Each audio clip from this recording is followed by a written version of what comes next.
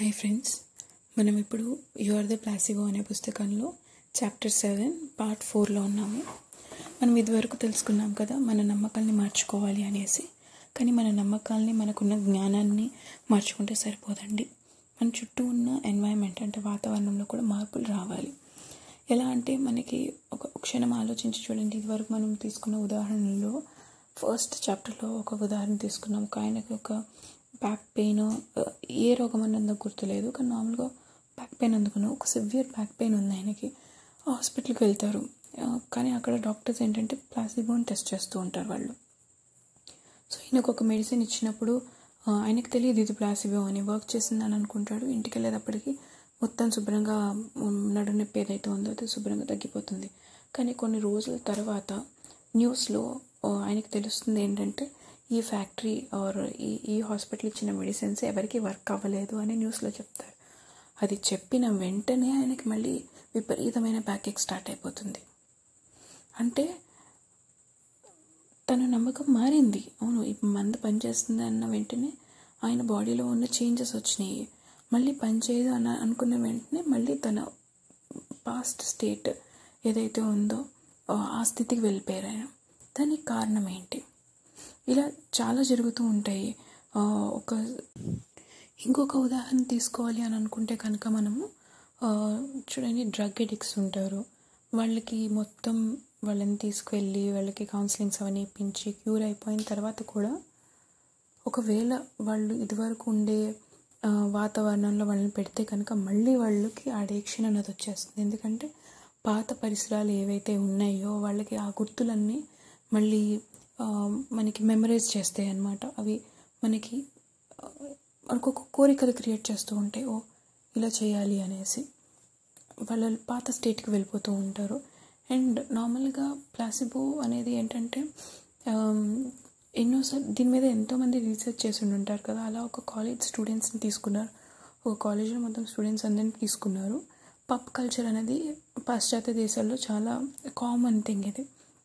So వీళ్ళందరినీ తీసుకుని vodka వాళ్ళకి ఏం చెప్పారంటే సగం మందికి వోడ్కా వస్తుంది సగం మందికి జస్ట్ వాటర్ ఇస్తాము అని చెప్తే ఓకే అని చెప్పేసి వాళ్ళందరూ తీసుకున్నారు.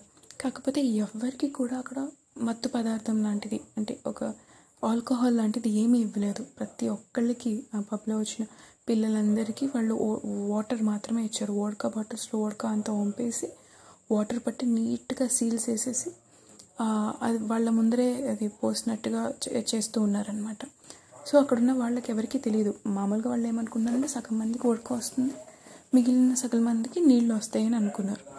కానీ నిజంగా చెప్తే ఎవ్వరికీ అక్కడ ఉడక అనేది ఇవ్వలేదు. అయినా సరే అది తాగిన వాళ్ళు చాలామంది తూగిపోతూ తాగిన వాళ్ళు ఎలా ఉంటారు? అలా అలాంటి సిమ్టమ్స్ని క్యారీ చేశారు. ఎందుకంటే వాళ్ళ మైండ్ సెట్ అది. ఓ ఇది ఆల్కహాల్ కాబట్టి ఇలా మత్తు వస్తుంది అని అనుకున్నారు. వాళ్ళకి హింట్ కూడా రానివ్వలేదన్నమాట. ఇది వాటర్ అనేది వాళ్ళకి తెలియదు వాళ్ళకి అలా కండిషన్ అయిపోయి ఉండింది. మనకి ఎన్నోసార్లు మనం చూస్తూ ఉంటాం పేషెంట్స్ గురించి. ఒక ఎన్వైరన్మెంట్ అనేది చాలా చాలా ఇంపార్టెంట్ అనమాట మన చుట్టూ ఉన్న వాతావరణ పరిస్థితులు.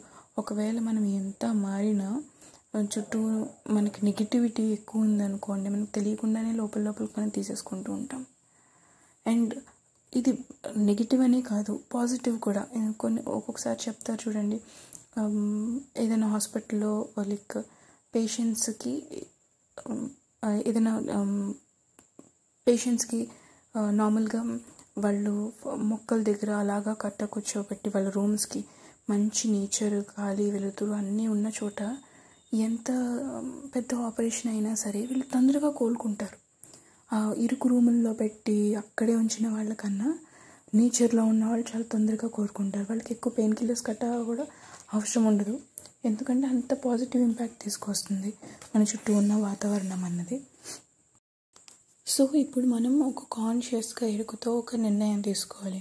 ఒక మందు బిల్లో లేకపోతే ఒక సెలైన్ ఇంజెక్షను లేకపోతే ఒక విండోను ఐ మీన్ గాలి వెలుతురు ఉన్నాయి చెట్లు అవి కనిపించేటట్టు హాస్పిటల్ రూమ్లో అనుకున్నాం కదా ఎవరికైతే మొక్కల దగ్గర ఉన్నారో వాళ్ళకి తొందరగా హీల్ అలానో లేకపోతే ఇంకెక్కడో ప్లేస్నో ఏదో ఒకటి బయట నుంచి వచ్చేది ఏదో మన దగ్గర మార్పు తీసుకురావాలా? లేదా మనకి మనమే మన లోపల ఆ మార్పును సృష్టించుకొని మనకు కావాల్సిన విధంగా మనం జీవించాలా అన్నది మనం తీసుకోవాలి. బయట నుంచి వచ్చేదంటే ఎక్స్టర్నల్ um, ఇప్పుడు ఎక్స్టర్నల్ ఓకే ఈ ఈ ఈరోజు మనకి వీలుంది మొక్కల దగ్గర వెళ్ళి కూర్చోగలిగాం. రేపు వీలుండకపోయి ఉండొచ్చు. అప్పుడు మీ పాత స్థితిలో మీరు ఉంటారా అంటే బాధతో ఉంటారా? ఉండకూడదు కదా.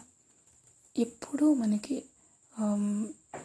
ఏ విధ ఎప్పుడు మనకి అందుబాటులో ఉండేటట్టు మనం మనం ఎన్వైరన్మెంట్ని మనమే క్రియేట్ చేసుకోవాలి.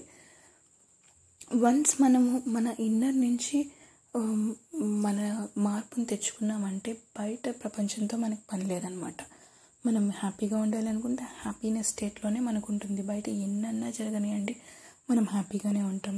అనుకుంటాం ఈరోజు ఏమైందో తెలియదు అంత మంచిగా జరిగింది శుభమే జరిగింది అనుకుంటూ ఉంటాం. ఏం జరిగింది? ఆ రోజు మనం మైండ్లో మనం ఎక్కడో హ్యాపీనెస్ అన్నది ఏదో మనకి వచ్చి ఉంటుంది. అది మనం క్యారీ చేసుకున్నాము. దాన్ని ఎక్కడ మనం వదిలిపెట్టేయలేదు ఒకవేళ వదిలిపెట్టేసి బయట ఏదో నెగిటివ్ జరిగి దాన్ని తీసుకున్నామంటే ఆ రోజు మనకి అంత సాఫీగా జరిగి ఉండకపోయి ఉండొచ్చు ఇప్పుడు మనం డిసైడ్ అవ్వాల్సింది ఏంటంటే మన ఎన్వైరన్మెంట్ ఎలా ఉండాలి? మన ఎన్ ఎన్వైరన్మెంట్ బయట ఉన్నదే కాకుండా లోపల బయటది మనం ఫుల్గా కంట్రోల్ చేయలేము. అందుకని ఫస్ట్ లోపల మనము మన స్టేట్ ఆఫ్ మైండ్ని మనం కంట్రోల్ చేసుకోవాలి. స్టేట్ ఆఫ్ మైండ్ని మనం క్రియేట్ చేసుకోవాలి. చాలామంది చూడండి ఎన్ని ఉన్నా సరే బాధగా ఉంటారు. ఏదో కోల్పోయినట్టు ఉంటారు కొంతమంది ఏమీ లేకపోయినా ఫుల్ హ్యాపీగా ఉంటారు. ఫుల్ హ్యాపీగా లీడ్ చేస్తుంటారు. యాక్టివ్గా వాళ్ళు పనులన్నీ చేసుకుంటూ ఉంటారు. సో మనం ఏ కేటగిరీలోకి వెళ్ళాలి అన్నది మనం క్రియేట్ చేసుకోవాలన్నమాట.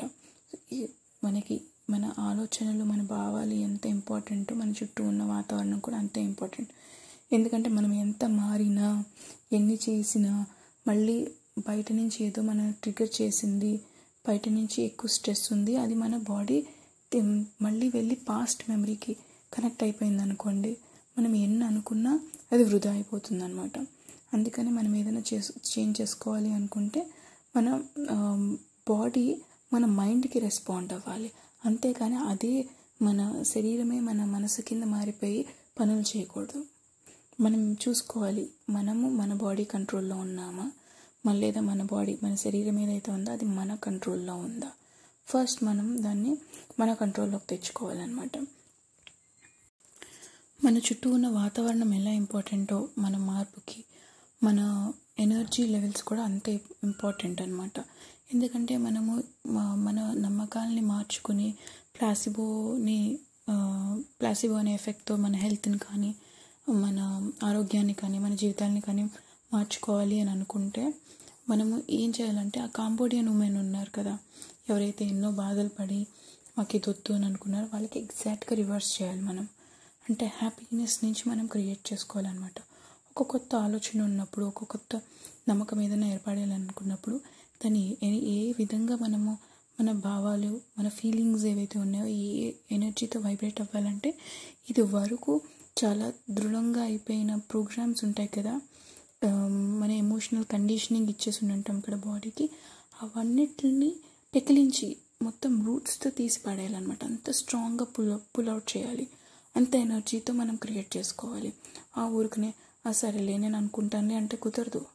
ఖచ్చితంగా అనుకోవాలి దాన్ని. ఎంతవరకు అనుకోవాలంటే పాస్ట్ బిలీఫ్ ఏదైతే ఉందో దాన్ని బద్దలు కొట్టుకొని బయటికి రావాలన్నమాట.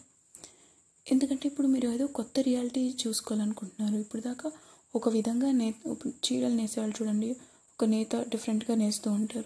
లేదు నీకు కొత్త డిజైన్ కావాలి అని అనుకుంటున్నప్పుడు ఆ నేత నేసే పద్ధతిని మార్చాలి. లేదంటే సేమ్ డిజైనే కదా వస్తుంది. ఎన్నిసార్లు ఉన్నా సేమ్ డిజైన్ డిజైన్ వస్తుంది. నీకు డిజైన్ మారాలి అంటే నీ అల్లిక పద్ధతి అన్నది మారాలి. సో అది మారాలి అన్నప్పుడు లైక్ ఆ డిజైన్ అనేది డిఫరెంట్ ఉండాలి. ఆ ఎనర్జీ ఏ ఎనర్జీతో మనం వైబ్రేట్ అవుతాం అనేది మన చాయిస్ అది మన ఎంపిక. ఒకవేళ నీకు న్యూ ఎక్స్పీరియన్స్ కావాలి కొత్తది ఏదో సృష్టించుకోవాలి అంటే కొత్తగా ఆలోచించు. కొత్తగా దానికోసం వర్క్ చేయి. కొత్త ఎనర్జీని బోల్డ్ అంత ఎనర్జీని దాంట్లో పెట్టు. ఫోకస్డ్గా ఉంటే మనకి అది చాలా త్వరగా మనకి మేనిఫెస్ట్ అవుతూ ఉంటుందన్నమాట. సో మన బిలీఫ్స్ మన నమ్మకాలు మన ఆలోచనలు మన భావాలు అలాగే మన చుట్టూ ఉన్న ఎన్వైరన్మెంట్ ఎందుకంటే స్టార్టింగ్లో మనం ఓకే మనకి మార్పు అన్నది అలవాటు అయిపోయింది పాజిటివ్ ఇటీ అలవాటు అయింది ప్లాసిబో అన్నది ప్లాసిబో ఎఫెక్ట్ని మనము ప్రతి దాంట్లోనే యూస్ చేయడం అని మనకు అలవాటు అయిపోయింది అనుకోండి పర్లేదు. కానీ కొత్త కొత్తగా మనం చేసినప్పుడు ఏంటంటే అన్నీ మనకి డిస్టర్బెన్సెస్ కింద ఉంటాయి అన్నమాట. సో మనకి ఎన్వైరన్మెంట్ అనేది చాలా ఇంపార్టెంట్ అండ్ అలాగే ఏ ఎనర్జీలో మనం ఉన్నాము ఏ ఎనర్జీని మనం క్యారీ చేస్తున్నాము ఎందుకంటే ఓల్డ్ ప్రోగ్రామింగ్ ఏదైతే ఉందో అది స్టాప్ అయిపోయి న్యూ ప్రోగ్రామింగ్ వైపు మన బాడీ వెళ్ళాలి బాడీ సహకరించాలి అంటే కనుక మనం ఎంత ఎనర్జీని పెడుతున్నాము అన్నది. సేమ్ మనం లాస్ట్ ఎగ్జాంపుల్లో చెప్పుకున్నాం కదా ఒక నది అలా ప్రవహిస్తూ ఉంటే ఒక బ్యాడ్ థాట్ ఒక ఎమోషన్ అనేది ఒక కొండలాగా పైకి వెళ్తుంది. అండ్ వెళ్ళే కొద్ది వెళ్ళే కొద్ది అది కొంచెం కొంచెం కొంచెం కొంచెం తగ్గుతుంది. మనం ఆ సిచ్యువేషన్లో లేము. అందులో నుంచి వచ్చేసినప్పుడు కొంచెం కొంచెం తగ్గుతుంది కానీ నీలమట్టం అయిపోదు అనమాట కింద వరకు వచ్చేసేది అది. మనం ఇప్పుడు ఏం చేస్తున్నామంటే ఆ బిలీఫ్నే కొత్త బిలీఫ్ కొత్త ఎమోషన్ని మనం సృష్టిస్తున్నప్పుడు కొత్త ఐడియా నాకు ఈ ఆలోచన వచ్చింది నేను ఇలా చేస్తున్నాను అనుకున్నప్పుడు స్ట్రాంగ్గా ఇవ్వాలన్నమాట మనకి. అంతే పుష్తో ఎంత పుష్తో అయితే మనము ఆ బాధని ఆ మౌంటైన్లా క్రియేట్ చేసుకున్నామో ఆ మౌంటైన్ కన్నా ఆ పర్వతం కన్నా ఇంకా పెద్ద పర్వతం కింద మన బిలీఫ్ ఉండాలి. మనం ఇప్పుడు ప్రతి నమ్మకం ఏదైతే ఉందో ఆ నమ్మకాన్ని పాత నమ్మకాన్ని కన్నా ఎత్తుగా మన మన కొత్త నమ్మకం ఉండాలన్నమాట. అప్పుడు పాత నమ్మకంలో ఉన్న బాధ భయము అన్నీ కరిగిపోతాయి మనకి. అండ్ ఒక మన సహజ స్థితి కింద అయిపోతుంది. కొత్త నమ్మకం ఏదైతే ఉందో అది ఒక అది కూడా ఒక పెద్ద మౌంటైన్ కింద ఉంటుంది. కానీ మనకి ఇప్పుడు హెల్ప్ చేసే మౌంటైన్ అనమాట అది. అది కూడా ఒక లెవెల్కి అయ్యేటప్పటికి కిందకు వస్తూ ఉంటుంది. కానీ మనం చూసుకుంటూ ఉండాలి. మళ్ళీ మన పాత ఎక్స్పీరియన్సెస్ ఏమైనా మనల్ని బాధపట్టి మళ్ళీ ఆ సిచ్యువేషన్స్కి తీసే వెళ్ళిపోతున్నాయా? లేదా మనం కంట్రోల్గా ఉన్నామా అన్నది మనం ఎప్పుడు అవేర్నెస్లో ఉంటే మనకి తెలుస్తూ ఉంటుంది అనమాట ఎంత న్యూ ఎమోషన్కి ఏదైనా ఎంత ఎక్కువ ఎనర్జీ ఇస్తే అంత స్ట్రాంగ్గా ఎమోషన్ ఉంటుంది. అండ్ ఊరికనే ఎమోషన్ కాదు ఎంతో కంపాషనేట్ భావంతో అది ఇచ్చినప్పుడు మనకి ఏంటంటే అది ఎప్పుడు అలా ఆ స్టేట్ అలా కంటిన్యూ అవుతూ ఉంటుంది. ఏదో జస్ట్ ఒక దానికోసమో రెండు దానికోసం కాకుండా ఎప్పుడు మనం ఇది కంటిన్యూ అయ్యేటట్టు. అంటే ఎల్లప్పుడూ మనం ఇదే స్టేట్ నుంచి వర్క్ చేసేటట్టు ఉండాలి. అప్పుడే మనం కావాల్సిన అనుకున్న కావాల్సిన టైంలో క్రియేట్ అవుతూ ఉంటాయి అన్నమాట మనకి. అండ్ మనం నార్మల్గా ఏమీ ఇక్కడి నుంచి చేసుకోవాలి మార్పు అని అనుకోవట్లేదు కదా మన డిఎన్ఏస్ నుంచి మారాలి అవి. మన డిఎన్ఏ మారిపోయింది అంటే మనం ఎప్పుడు చూసినా హై ఎనర్జీ స్టేట్లో ఉంటాము. దేవుళ్ళు చూడండి ఎప్పుడు వాళ్ళు లో స్టేట్లో ఉంటారు ఎప్పుడు హై స్టేట్లో ఉంటారు. ఎందుకంటే వాళ్ళు వాళ్ళ డిఎన్ఎస్ నుంచి వాళ్ళ సోల్ లెవెల్ నుంచి మారిపోయి ఉన్నారు వాళ్ళు. సో మనం కూడా ఫస్ట్ స్టెప్ మనం ఫస్ట్ స్టెప్ ఎక్కడ వేస్తున్నాం మన నమ్మకాలని మార్చుకోవడంలో వేస్తాం.